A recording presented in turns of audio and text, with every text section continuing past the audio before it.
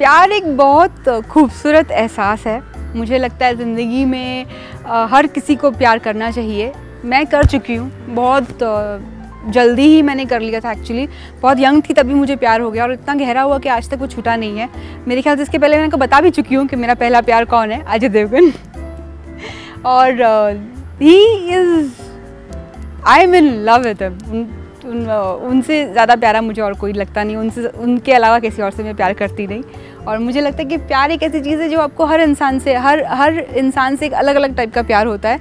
आपकी माँ के लिए एक अपना अलग प्यार होता है, जानवरों के लिए एक अलग प्यार होता है। प्यार के अलग अलग पहलू अलग अलग सिचुएशंस होती हैं। So it's a beautiful feeling everything मतलब हर इंसान को प्यार में पढ़ना चाहिए। अभी तक uh, मेरी ज़िंदगी में ऐसा कोई आया नहीं है लेकिन अगर कोई आएगा तो आप लोगों को ज़रूर बताऊँगी। ये एक स्पेशल फीलिंग होगी जो मैं चाहूँगी आप जैसे स्पेशल लोगों के साथ मैं शेयर करूँ। तो वेट कीजिए कि मेरी ज़िंदगी में कोई आए और वो स्पेशल इंसान को मैं आप लोगों से सबसे पहले इंट्रोड्यूस करूँ।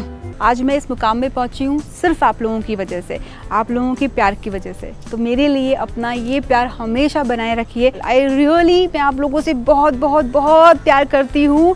जितना प्यार आप लोग मुझसे करते हैं उससे दस गुना ज़्यादा प्यार मैं आप लोगों से करती हूँ। बाय